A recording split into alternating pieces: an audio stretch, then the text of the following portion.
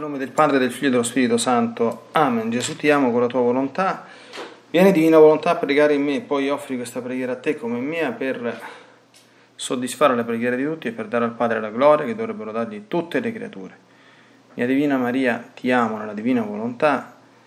Regina Immacolata, Celeste Madre mia, vengo sulle tue ginocchia materne per abbandonarmi nelle tue braccia, per chiederti quei sospiri più ardenti che mi ammetta a vivere nel regno della divina volontà. Mamma Santa, tu che sei la regina di questo regno, ammettimi a vivere in esso affinché non sia più deserto ma popolato dai figli tuoi.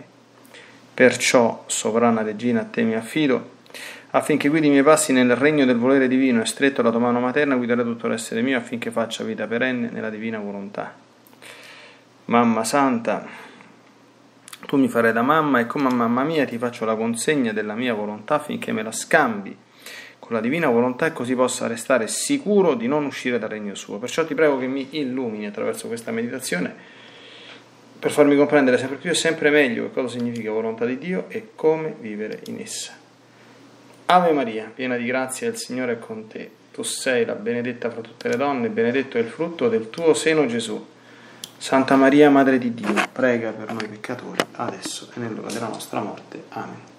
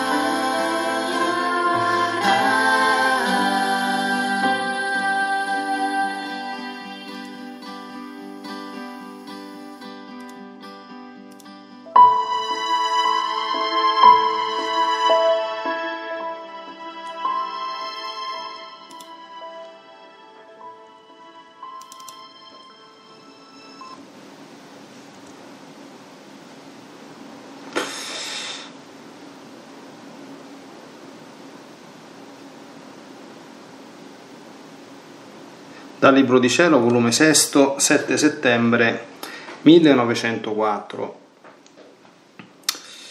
capitolo 68. Stavo impensierita per aver letto dentro di un libro che il motivo di tante vocazioni frustrate è il mancato, incessante dolore del peccato. E siccome io non ci penso tanto a questo e penso solo a Gesù benedetto e al modo come farlo venire e di nessun'altra cosa mi curo, quindi pensavo tra me che in male stato mi trovavo. Onde, trovandomi nel solito mio stato, il benedetto Gesù mi ha detto, Figlia mia, l'attenzione di non commettere peccato supplisce al dolore, ed ancorché uno si dolesse con tutto ciò commettesse peccati, il suo dolore sarebbe vano ed infruttuoso, mentre l'attenzione continua di non commettere peccati non solo tiene luogo di dolore, ma sforza la grazia continuamente ad aiutarla in modo speciale a non cadere in peccato e mantiene l'anima sempre purgata. Perciò seguita a stare attenta a non offendermi minimamente, che supplirà a tutto il resto. capitolo 69, 8 settembre 1904. Continuando il solito mio stato, il mio adorabile Gesù non ci veniva. Onde, avendo molto stentato, mi sentivo tutta scoraggiata e temevo forte che questa mattina non ci venisse del tutto. Quindi, essendo dopo venuto, quando appena mi ha detto, Figlia mia, non sai che uccide più anime lo scoraggiamento che il resto degli altri vizi?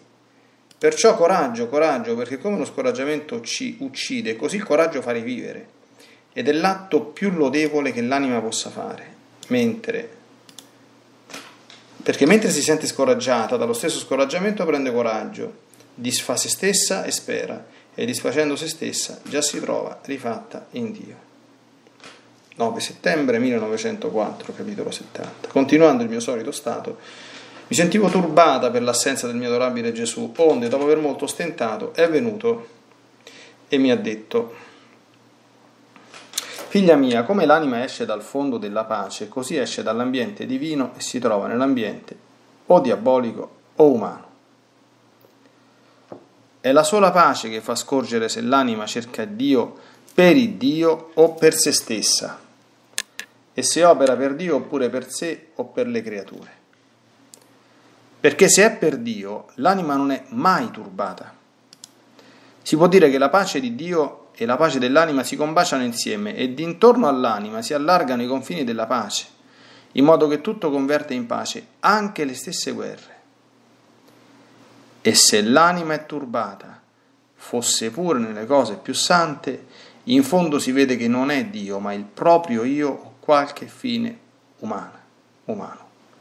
Perciò, quando non ti senti calma, richiama un po' te stessa per vedere cosa c'è in fondo, distruggilo e troverai pace.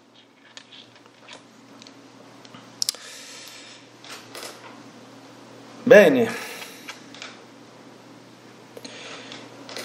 Oggi il Signore, attraverso questi tre capitoletti, dà eh, importanti indicazioni ascetiche ecco, per la vita spirituale, tre grandi indicazioni.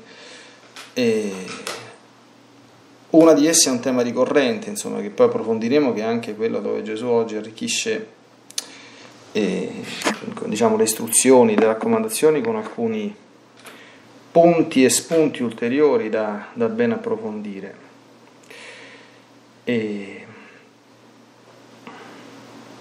quindi rivediamo lentamente e, e approfonditamente insieme. Il primo, ecco, Luisa, diciamo così, si preoccupa un po' perché legge in qualche libro di devozione che il motivo di tante vocazioni frustrate è il mancato incessante dolore del peccato. E lei dice, ma io non ci penso tanto a queste cose, quanto ad amare Gesù benedetto. Ecco, e quindi si preoccupa, dice, e come farlo, è il modo come farlo venire. e quindi si preoccupa, dice, ma se io non ho il dolore per il peccato, quindi vado a frustrare anche la mia vocazione, quindi anche Gesù non farà con me quelle cose che, che vorrebbe fare, no? Quindi questo è un pochino il senso del suo discorso. Gesù però gli spiega eh, che nella vita interiore ci sono due metodi di procedere, c'è un metodo negativo, diciamo così, e un metodo positivo. Questo non è soltanto Gesù a dirlo, no? questa era una, eh, un principio, una raccomandazione che si trovava già in qualche autore spirituale. No? ricordo anche lo stesso San Tommaso d'Aquino, no? Nella vita interiore si può procedere in due modi, o come dire, dolendosi e cercando di eh, reprimere, espiare, correggere il male commesso, e questa è cosa molto buona. Oppure, però, certamente una volta che uno si è fatto grandi peccati, deve riconciliarsi con Dio, quindi qui teniamo sempre presente che sta parlando un'anima santa, d'accordo? Quindi un'anima che non ha mai, forse, forse Luisa non avrà mai fatto un peccato mortale, non, non lo sappiamo, certamente insomma anche accorato, a prescindere diciamo, da tutto quanto il mondo della divina volontà, gli scritti eccetera, era, era chiamata Luisa la Santa, insomma, no? quindi per essere chiamata Luisa la Santa e, e, ecco, quindi sappiamo tante cose, no? Mm, però supponiamo un grande peccatore, allora, grande confessione generale, benissimo, è necessario in quelle circostanze, però il problema è che dopo che mi sono riconciliato, che, che faccio?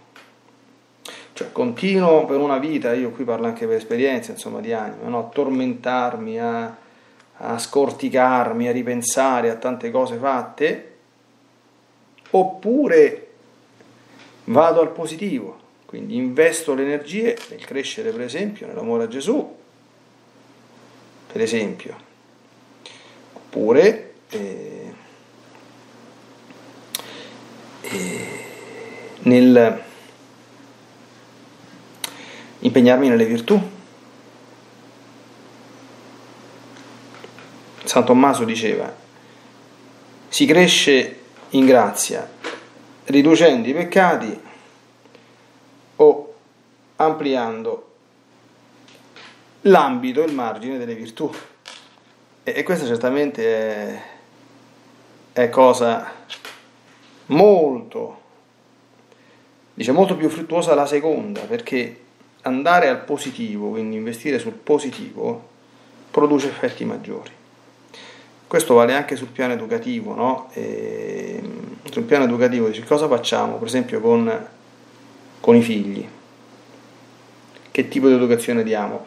Li incitiamo e li sproniamo sempre più al bene o stiamo sempre a stigmatizzare sbagli, peccati, errori? Per carità, cioè in alcune circostanze non si può non fare una cosa di questo genere, è proprio uno stile che deve cambiare. Così la vita nella divina volontà, adesso a prescindere da questa circostanza contingente, è una vita alla luce del sole, d'accordo?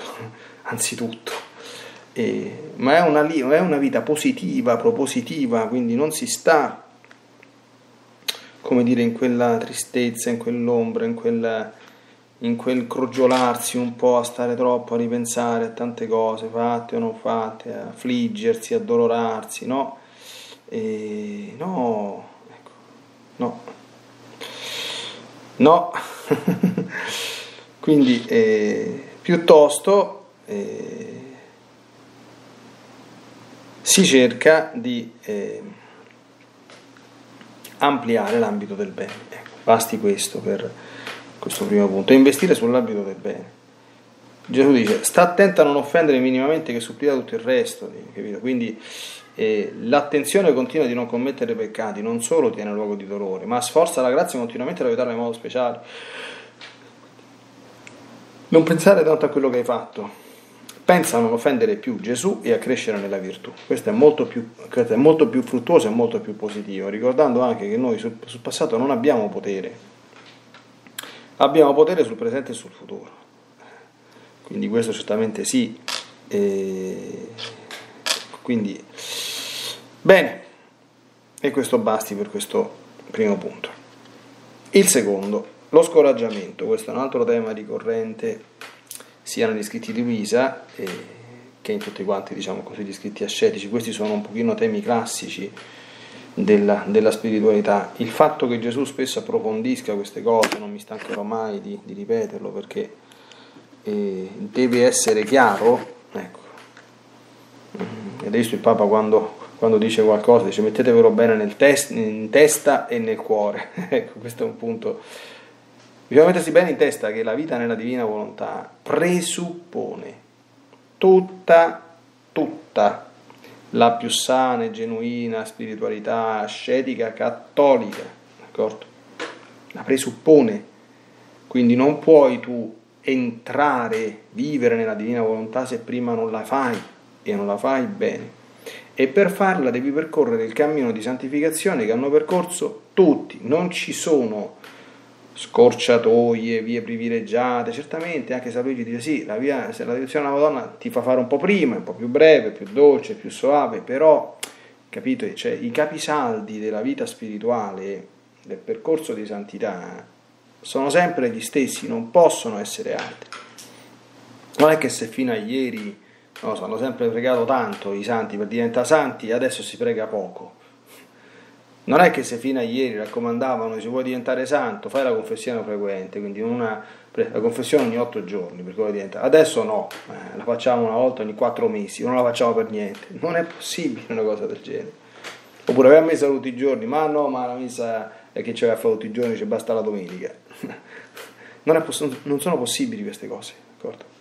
Bisogna completamente sgombrare il pensiero, toglierselo dalla mente, altrimenti si travisa l'insegnamento di Gesù sulla divina volontà, non, lo, non, non lo si interpreta rettamente, quindi è sempre un percorso, come dire, di... Eh, bisogna sempre tenere presente quello che Gesù ha detto nel discorso della montagna. Io non sono venuto ad abrogare, ma a perfezionare, a mettersi le guglie sopra la cattedrale, a portare a, portare a compimento a portare a perfezione, quindi a superare, ma non nel senso di distruggere e fare altro, ma nel senso di andare oltre, ancora oltre, d'accordo? Ecco.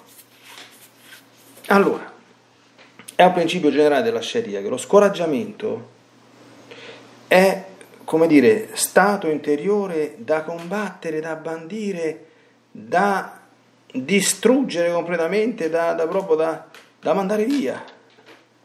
Quindi senza nessun eh, tipo di, di, di possibile eh, come dire, compromesso, chance zero, deve essere mandato via. Senza proprio appello, via. Questo bisogna mandarlo via. E altrimenti siamo rovinati. perché lo scoraggiamento fa tantissimi danni, mortifica eh, le,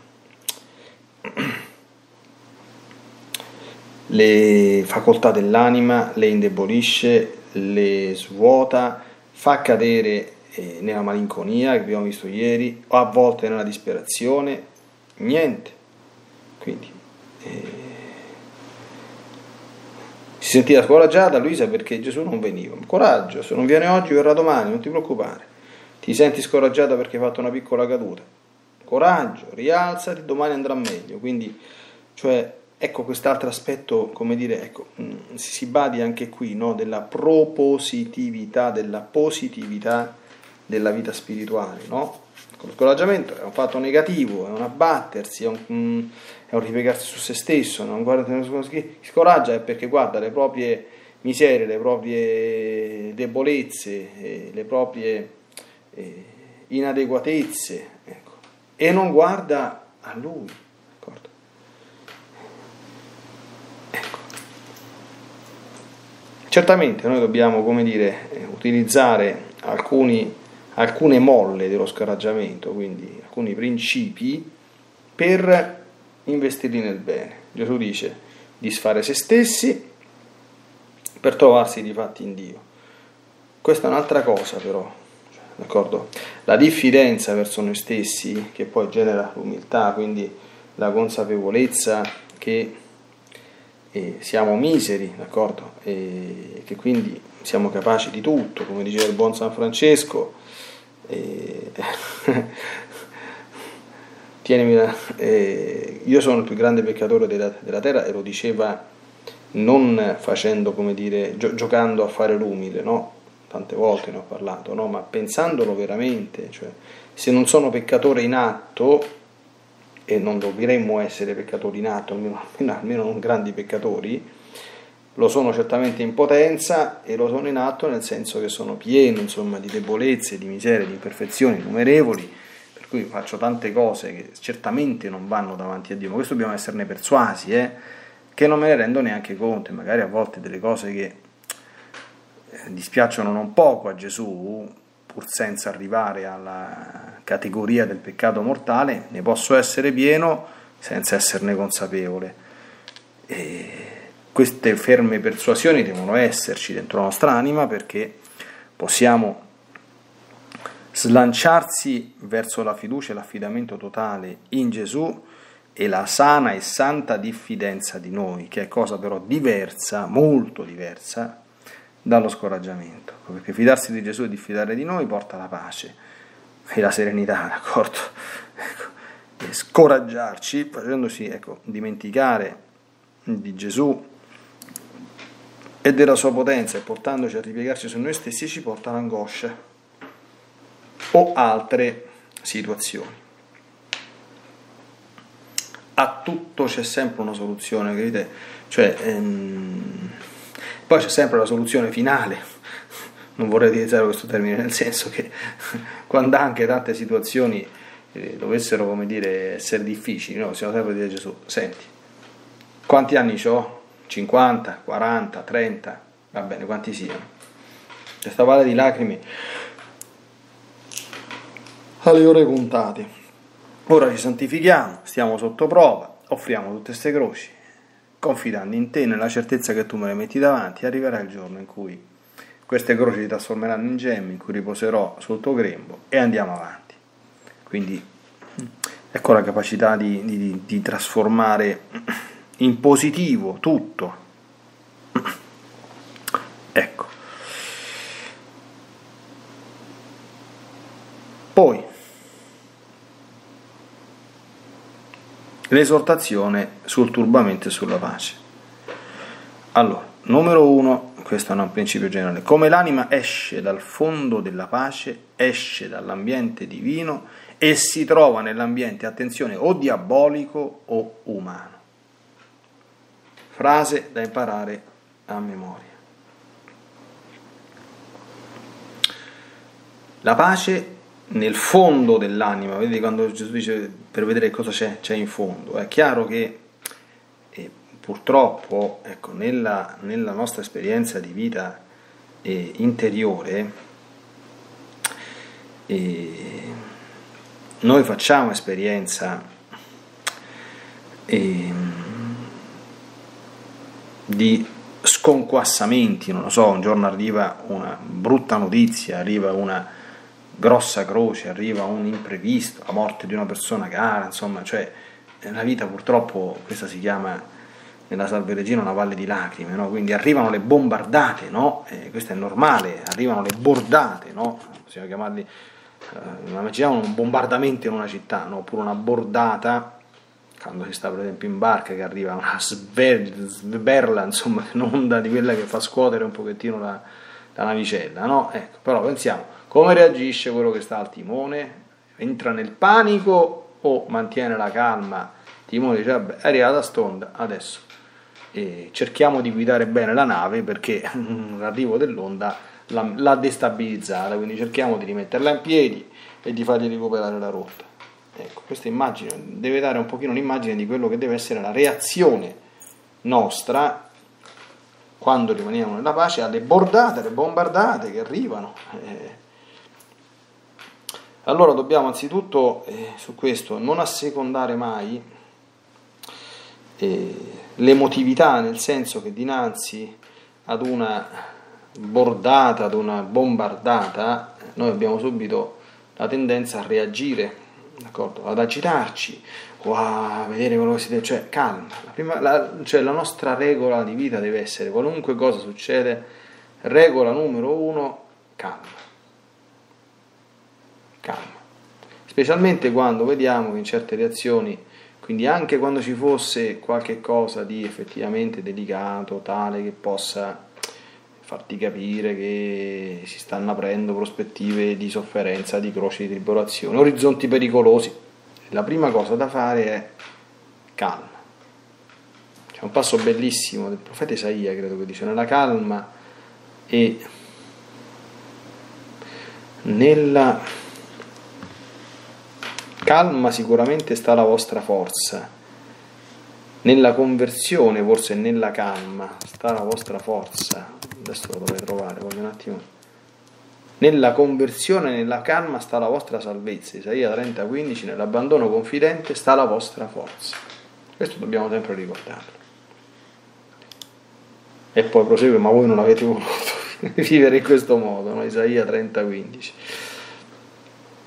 Perché appena si esce da qui si entra o in ambito umano, quindi si fanno stupidaggini derivanti dalla volontà umana, o peggio si entra in ambito diabolico, quindi si è facilmente governabili dal demonio che pesca sempre nel torbido, cioè le acque eh, agitate sono il suo regno. Poi è la sola pace, questo è molto importante, che fa scorgere se l'anima cerca Dio per il Dio per se stessa, attenzione, e se opera per Dio oppure per sé o per le creature, attenzione, attenzione, attenzione. Se l'anima cerca Dio per Dio o per se stessa, allora, ti è arrivata una croce? Se ti arriva una croce, è volontà di Dio che tu la soffri. Se ti agiti, non stai cercando Dio per te stesso, ma tu cerchi Dio nell'illusione falsa, tra l'altro Gesù non mi ha promesso a nessuno, presso il contrario, che Dio ti tenga sempre tranquillo, sereno e senza nessuna difficoltà e senza nessuna sofferenza. Non lo stai cercando per lui, per te stesso. Attenzione, operare per Dio per se stesso, ti arriva un impedimento, una cosa, una, eh, che ti impedisce di fare una cosa, anche bella, anche santa. Un esempio cretino, ti arriva 40 di febbre non puoi andare a messa per 4 giorni. Ma tu stai tranquillo, a messa non ci stai andando non perché non vuoi, ma perché Dio ti mette nel letto. E quindi finito. Perché tu non vai a messa per te, ma tu vai a messa per Dio o per le creature. Ho avuto 40 di febbre e mo, cioè i figli piccoli hanno bisogno di me, io devo stare a letto, non ci posso stare presso. Che problema c'è? Anche una mamma nei confronti dei figli, quello che fa nei confronti dei figli nella divina volontà, lo fa sempre con l'intenzione, io opero per i figli perché questo è quello che Dio vuole, perché i figli me li ha donati e me li ha affidati e quindi io li curo. Se mi mette nell'impossibilità materiale oggi di stargli appresso, chiamo mio marito e gli dico stai appresso ai figli perché ho 40 di febbre. E in questo rimango tranquillo. No, ma ho 40 di febbre. Ah, ma devo fare questo. Ah, ma devo fare quell'altro. Ah, ma devo cucinare. Ah, ma devo andare qua. Ah, ma devo andare là. Ecco. Cioè, queste sono cose proprio terra terra, molto molto concrete, ma la vita è fatta di queste piccole cose. Non dobbiamo pensare a perdere la pace o non perdere la pace quando innanzi a chissà cosa, no? e poi questi sono esempi banali, si potrebbero moltiplicare anche con cose molto più, ancora più quotidiane, no? Perché se è per Dio, l'anima non è mai turbata. Perché se io cerco Dio per Dio, mi prendo tutte le cose che Lui mi manda, sapendo che da ogni cosa che mi manda c'è un bene che vuole darmi. E certamente lavoro e lavoro molto per Lui, eh? il Papa ai giovani a Palermo ha detto che benissimo, che se c'è una cosa che non piace a Dio è la pigrizia e che noi dobbiamo essere molto attivi e solleciti nell'operare per la sua gloria, sempre con calma, quindi senza cadere nella, nell'iperattivismo nell'agitazione, ma certamente, quante volte il Papa ripete, non basta non fare il male, occorre fare il bene. Ha citato un santo l'altro giorno che diceva non fare il male è cosa buona, ma non fare il bene è brutto. Quindi, cioè, nella divina volontà, lo sappiamo che la divina volontà, la divina volontà è, lo fa senza fatica perché la divina volontà insomma non è come noi quando opera si stancano, ma la divina volontà è iperattiva, cioè proviamo a contemplare tutte le opere che ha fatto, insomma, no? solo che uno entra nel fiat creante ci potrebbe passare tutta l'eternità a contemplare gli atti della divina volontà senza avere finito. No? I nostri giri sono sempre molto molto limitati. Eh? Se ci pensi per esempio quando uno va in un bosco, ah, in un bosco ci stanno soltanto gli alberi, ci sono le foglioline degli alberi, ci sono i rami degli alberi, ci sono le radici degli alberi, ci sono le foglie, ci sono i frutti, ci sono tante le foglioline che sono cadute per terra, d'accordo? Vogliamo provare ad andare a mettere il tiamo in ogni, centino, in ogni atomo delle foglioline cadute, capite? Eppure in un atomo di una fogliolina di albero c'è un atto della divina volontà. ecco, ma sempre tutto con pace. Anche nell'operare, non voglio fare una cosa, voglio fare, cioè, ecco, voglio, mi si prospetta di fare una cosa bella per la gloria di Dio, sto nell'impossibilità concreta di farla, non la faccio. Non la faccio perché se Dio non, cioè, mi mette nell'impossibilità concreta, certo, a volte c'è qualche piccola difficoltà che si mette di traverso il demonio, allora suavemente io posso provare a superare una difficoltà, quindi vedere perché non posso essere sicuro la prima difficoltà D'accordo? Quindi ci provo, se vedo che la cosa veramente non è aria, vuol dire che il nostro Signore mi sta facendo capire che non è aria. Quindi quella cosa non la vuole e quindi io con la massima pace possibile non la faccio. Non la faccio. Perché se mi impuntassi non sto più cercando Dio, sto operando per me o per le creature, d'accordo? È una cosa bella per il prossimo, per la ricerca che mi dicono bravo, la gratificazione, fare bella figura, tutte altre cose. Allora vedete che l'anima che viene alla divina volontà converte tutto in pace, anche le stesse guerre. E attenzione, se l'anima è turbata di Gesù fosse anche nelle cose più sante, non è che una cosa santa dice ah, vabbè, su questa mi posso turbare perché è santa, quindi bisogna farla per forza. No, no, no. Fosse anche nelle cose più sante, in fondo si vede che non è Dio, ma il proprio io, qualche fine umano. Qui dobbiamo fare l'esame di coscienza sinceramente. D'accordo? Quindi capire anche che bello, no? ma anche quanto è impegnativo vivere nella divina volontà. Quindi non sono chiacchiere queste qui, queste non sono chiacchiere. Questo capite che una, il Vangelo di domenica rinneghi se stesso, che significa? Questo significa, d'accordo? Questo, cioè tu stai continuamente in atto di confrontarti con quello che Dio vuole e cedere il passo a quello che Dio vuole, solo questo ti fa mantenere la pace. Quando non ti senti calmo, chiudiamo così la meditazione di oggi, come chiude il resto Gesù, richiama un po' te stesso a vedere che cosa c'è in fondo.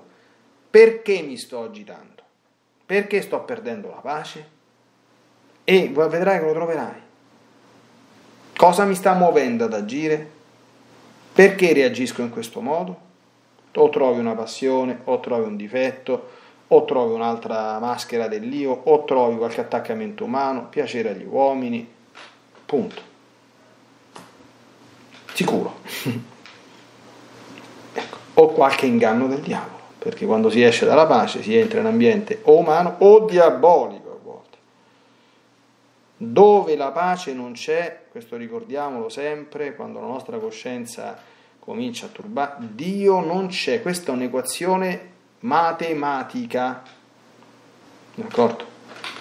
E dobbiamo sempre metterla in pratica e assecondare sempre questa cosa, fuggire da tutto ciò che ci toglie la pace del cuore, compresi ambienti, situazioni, eh, eh, tutto, tutto.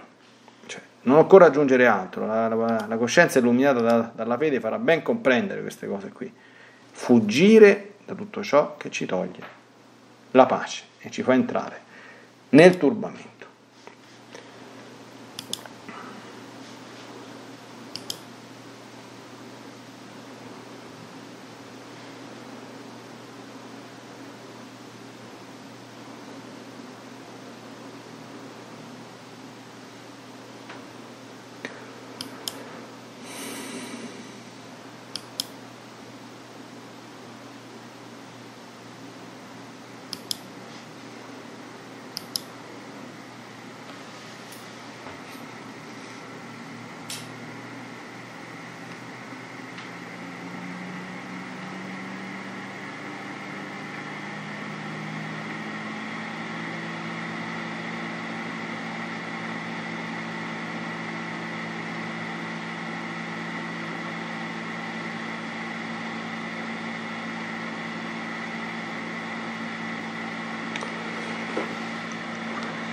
Bene, ma Santa Vergine Maria, non è, non è, un caso che la Chiesa ti, ti chiama Regina della Pace e,